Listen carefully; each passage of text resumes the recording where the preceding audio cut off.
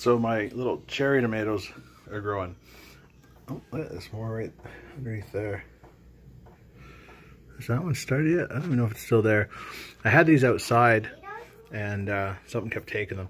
Basically, I'll show you how I do these. It's basically you take just a fresh, um, you know, little cherry tomato and slice it and you drop it in some dirt and within like a week. So we're going to separate these. Yeah, we got spinach coming up. Finally. Finally. Got a little baby raspberry bush. Raspberry bush is doing good here. Like by May 1st, these might open. Uh, that one's like almost ready to open. I think if the sun came out, it might even open today. Rhubarb's looking good.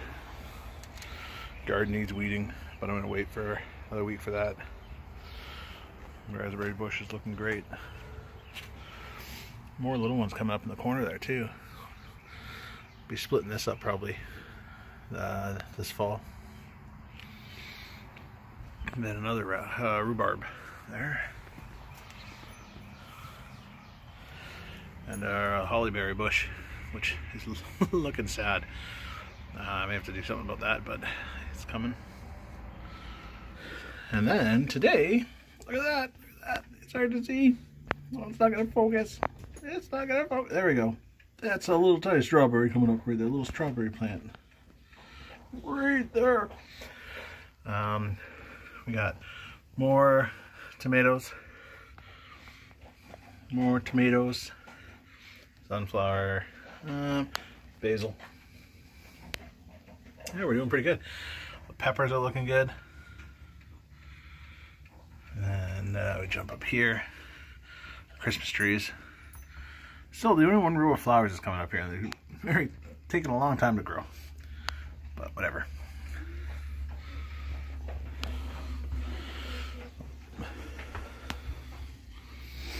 So, we're going on to our second month of quarantine or lockdown or whatever you want to call it.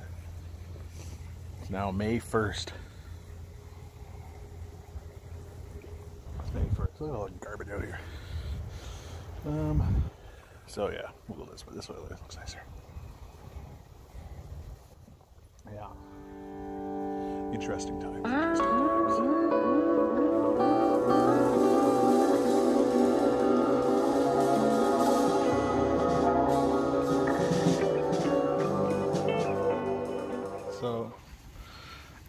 Alice and Haley made a bird bird feeder type thing with Cheerios and a string. So Alice is trying to attract the birds. They're not coming, Daddy. Yeah, I know.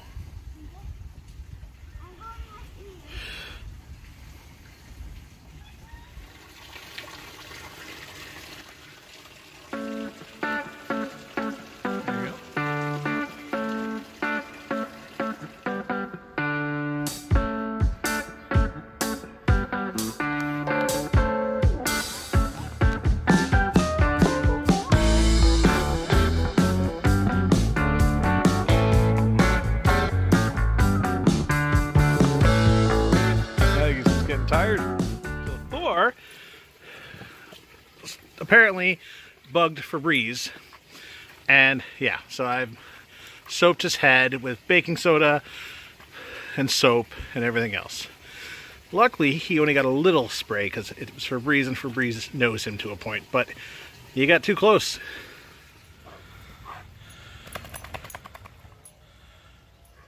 Come here. There you go. Get rid of your stink.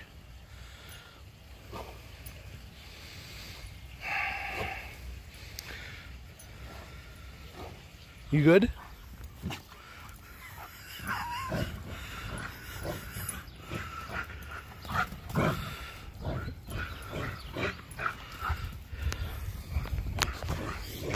So the, the, the funny thing is, is Alice turned around and said, well, it really smells like skunk over here.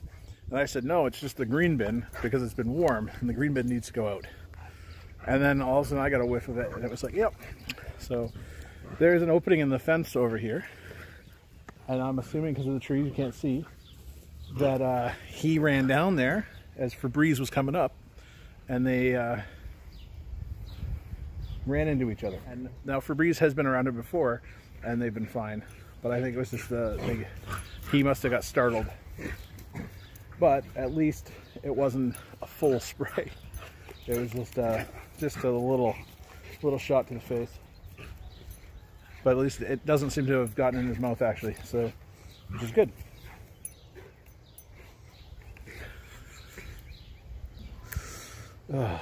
Crazy times, crazy times.